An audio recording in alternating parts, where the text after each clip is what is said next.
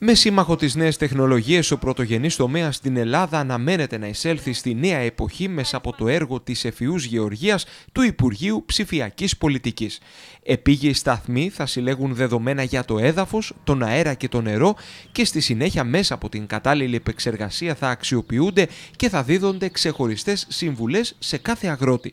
Η πλατφόρμα η οποία θα δημιουργηθεί αναμένεται να συνδέει τους παραγωγούς με οργανώσεις παραγωγών, ερευνητικά ιδρύματα και την τοπική αυτοδιοίκηση. Το έργο της Εφηού Γεωργίας πρόκειται για ένα έργο το οποίο το έχουμε αναπτύξει σε συνεργασία με το Υπουργείο Αγροτικής Ανάπτυξης τον τελευταίο χρόνο και έρχεται να φέρει τους αισθητήρες, να δημιουργήσει δηλαδή σταθμούς που με πολύ απλά λόγια, αν το λέγαμε, έρχονται και δίνουν δεδομένα που συλλέγονται σε μία βάση. Τι δεδομένα είναι αυτά που μπορεί να συλλέγει ένας σταθμός, σε πρώτη φάση δεδομένα που έχουν να κάνουν με την υγρασία του εδάφους, με τη θερμοκρασία του αέρα και με την προστασία από ακραία καιρικά φαινόμενα. Αυτό το έργο θα ξεκινήσει να υλοποιείται γρήγορα.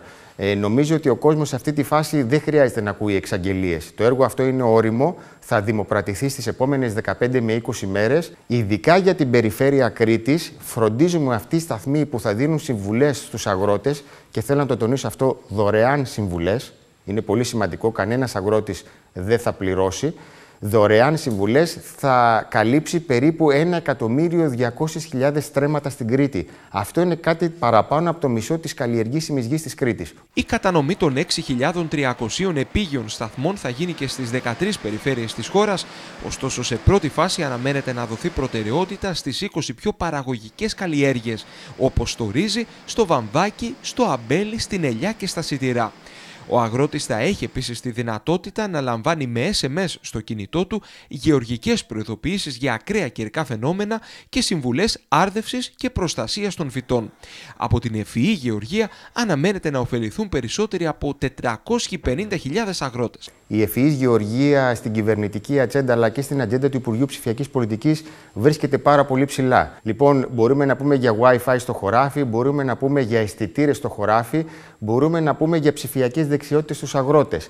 Όλες αυτές είναι έννοιες οι οποίες μέχρι χθες ήταν άγνωστες. Σήμερα όμως ερχόμαστε με μια ψηφιακή στρατηγική και θέτουμε στο επίκεντρο τον αγρότη και την αγροτική παραγωγή. Θεωρώ ότι είναι ένα πολύ σημαντικό εθνικής κλίμακας έργο το οποίο αναπτύσσει 6.500 τηλεμετρικούς σταθμούς. Αυτή η σταθμή είναι τηλεμετρική γιατί χρησιμοποιούν το δίκτυο της, τηλε... της κινητής τηλεφωνίας, τα οποία συλλέγουν όλα αυτά τα δεδομένα και στην πρώτη φάση του έργου θα μπορούν να δίνουν αυτές τις πληροφορίες στον αγρότη. Δηλαδή, αν πρέπει να ποτίσει, αν πρέπει να λιπάνει και αν έρχονται ακραία καιρικά φαινόμενα ώστε να προστατευτεί. Η χρηματοδότηση του έργου αγγίζει τα 33,5 εκατομμύρια ευρώ και θα καλυφθεί από το πρόγραμμα δημοσίων επενδύσεων. Θεωρούμε ότι ο πρωτογενής τομέας είναι ένας πολύ κρίσιμος τομέας για την ελληνική οικονομία και μπορούμε να επενδύσουμε ξανά σε αυτόν σε μια Ελλάδα που βγαίνει μετά από μια μακροχρόνια χρήση.